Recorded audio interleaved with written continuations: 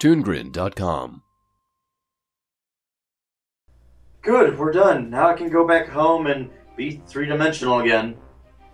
Not yet. You also have my sequel. Oh god, your voice. It's like broken glass. Oh, please stop talking. Now enjoy my flick. Scary Godmother 2's The Revenge of Jimmy. Oh god, help us.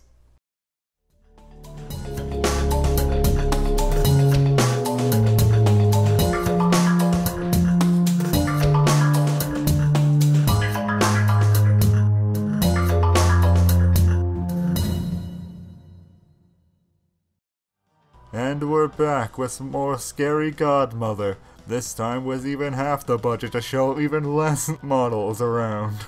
Isn't that usually the case for like sequels? Yep, especially these like direct-to-DVD sequels or direct-to-TV special, whatever this is. Actually, yeah, you know what? That's what probably makes it worse off in the grand scheme of things. That not only is it not a movie, it's a direct-to-TV special, so the budget's already been cut immensely. Even more so because it's not even a direct movie to TV; it's a direct special to TV. So that's like three fourths of the budget has been cut from the project. And it just makes everything worse in a way. Like fir- first off, there's very few models, except for like any of only the main character models are there. Like all those background characters that we saw in the first movie, they're gone. Which is weird. Like, did they just throw the models out? I mean, like, there, there's really no reason unless it would have cost to animate them, so they just cut them out entirely. But for this movie, that just sort of like puts an arm behind their backs and just with the narrative. Because the narrative of this one is that it's Jimmy's revenge on Halloween. It basically, in the last flick, the monsters traumatized Jimmy, and now Jimmy's become this neurotic, potentially homicidal shut-in. Yeah, he's just insane, and his parents don't really give a shit. Yeah, his, his parents never like really address like how mentally unstable their kids become, and the the whole movie kind of just overlooks the fact that he's got like PTSD. Scary Godmother 2, Revenge of Jimmy isn't bad per se, but It's not well thought out. it's not well thought out. And honestly, and I think Whyboy will agree with me on this. You can't even say it's like a cash grab like other sequels because it sure doesn't look like it.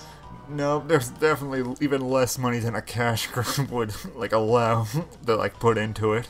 And just who would put the money into this? Like, even though like we both liked Scary Godmother, we can definitely say it's not the Halloween classic that we would post on billboards and all that. Like everyone must see this, and everyone will see it. It's basically just a movie like, oh, that that's a very cute movie. Definitely needs a sequel. It just makes it so- sort of sad because all the characters are back and they're basically all the same sort of thing. Scary Godmother is still nice and wacky. Like Hannah Marie is still the sweet, innocent little girl, but now she's the one that's saving Halloween from Jimmy. Because Jimmy's whole thing throughout this is he- he's gonna destroy Halloween. Can, can we address, in my opinion, what's like the worst part of this movie? What is the worst part of this movie?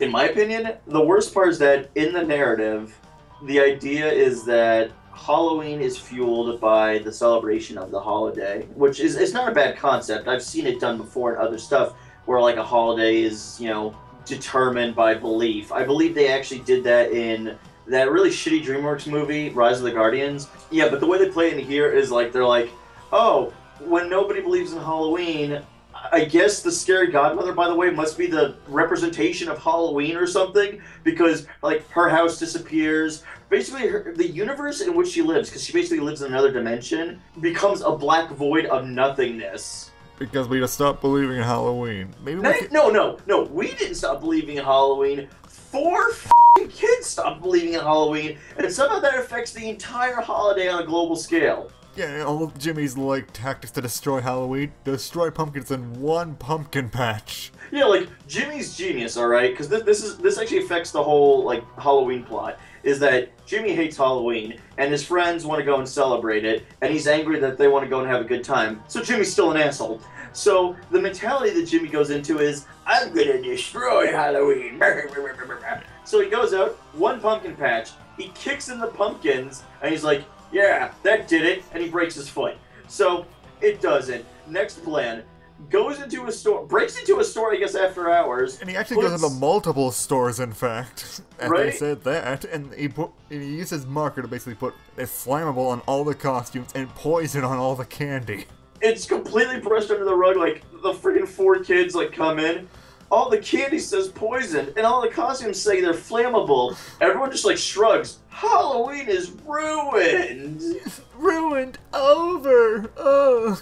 Look, we know it's a kids animated special. We're not idiots. yeah. But couldn't someone give more of a f? Yeah, you showed the scale of the world, world because we're saying like this whole season of Halloween would be totally destroyed, but it's only being like seen through the eyes of four kids. We're not seeing like the global scale that we need to see to basically say as soon as Jimmy does this, Halloween is just over. It's ruined everywhere. And, and even then, what I don't get is the scary godmother is specifically Hannah's scary godmother. But Hannah's like faith in the holiday never wavers. She's always positive about the holiday. So really, scary godmother should be fine. You know what it is, Boy Boy? You know what it is? The first film was just a delightful, fun romp of, you know, some kids are jerks, the Halloween season can be fun. It can be scary at times. It can still be delightful. It has delicious food, engaging moments, and times you spend with your friends. It was like a, a sort of a feel good.